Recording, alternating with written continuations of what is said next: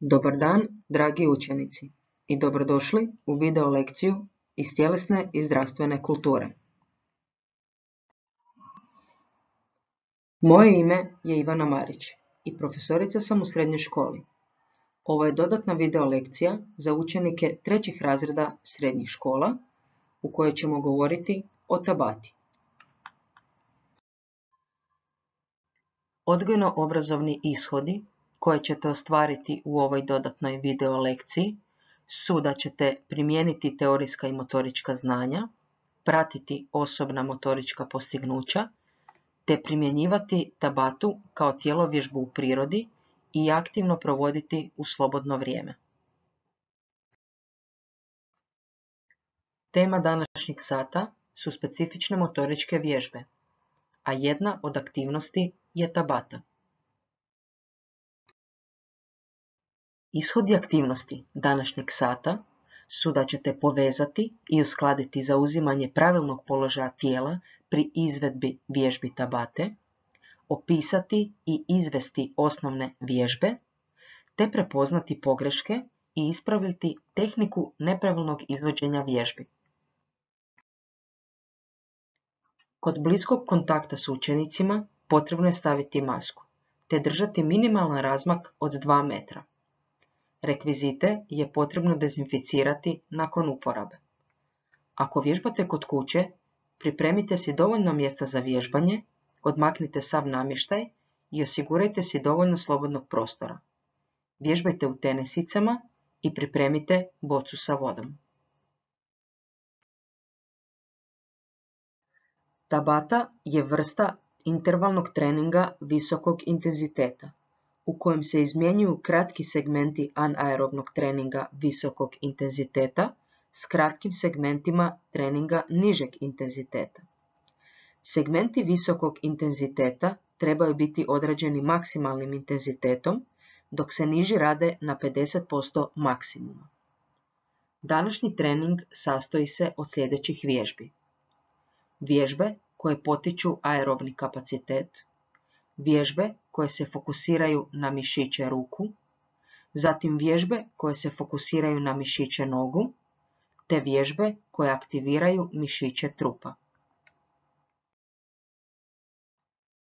U jednominutnim pauzama između pojedinih vježbi lagano trčite u mjestu i hodajte, kako bi vam se puls spustio i spremio vas za sljedeću vježbu. Prisjetimo se formule tabate.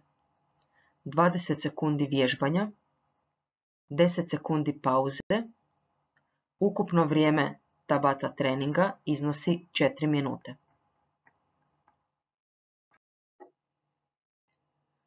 Kako bi vas što više uputili u Tabata aplikaciju, navodimo jednu od mogućnosti.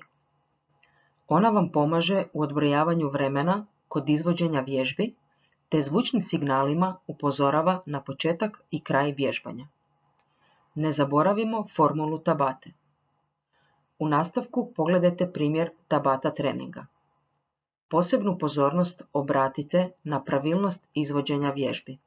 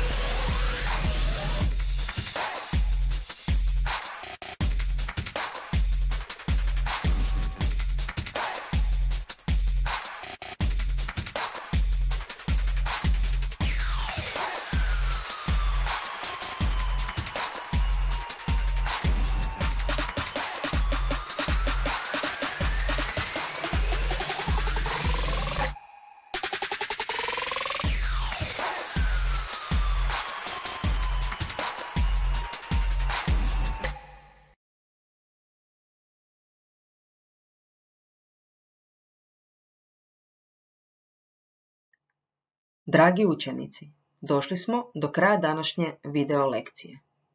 Nastavite se i dalje baviti tjelesnom aktivnošću, te ostanite zdravi.